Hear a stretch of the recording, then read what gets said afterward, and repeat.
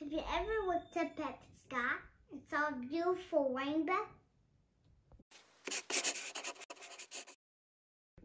Rainbows are made up of seven colors. Red, orange, yellow, green, blue, indigo, and violet, also known as purple. We are going to paint a rainbow starting with three colors. Red, blue, and my favorite color, yellow. Hmm. So how do we get the other colors? Red, yellow, and blue are primary colors. So when you mix them, you can make new colors. And primary colors can't be made by other colors. So we need orange, green, indigo, and violet. So let's get mixing. If you want to follow along, grab your supplies. To make orange, we need yellow and red. Orange, green, and purple are secondary colors.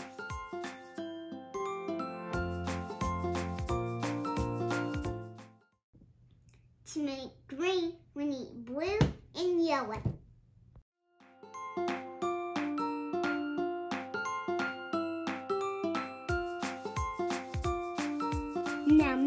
It.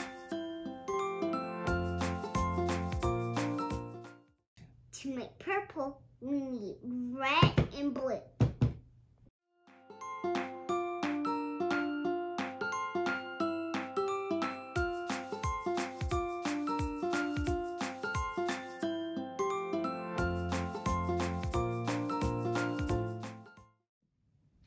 Indigo is a tertiary color. You get it by mixing blue and violet. Use the violet you just made and mix it in with the blue. Now we have seven colors. Let's paint our rainbow using a sponge. First paint the red.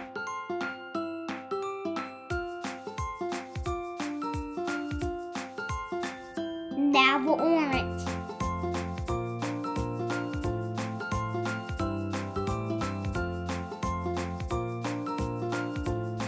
Yellow.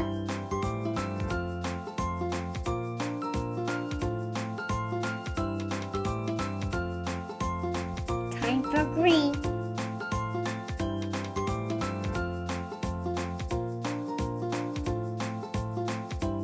Now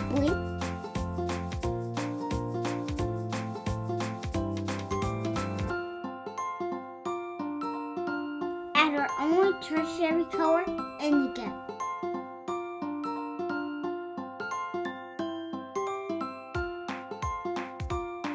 The last one is purple.